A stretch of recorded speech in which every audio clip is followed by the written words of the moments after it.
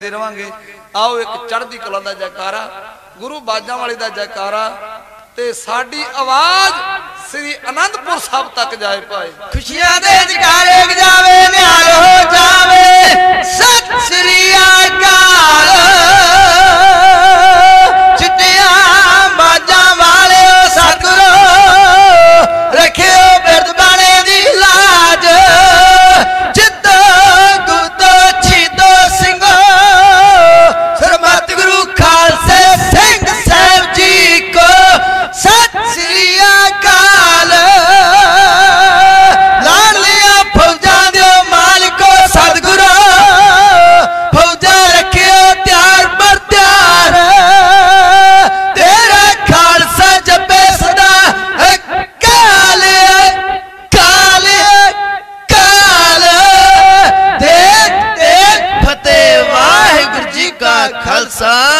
वाहेगुरु जी की फतेह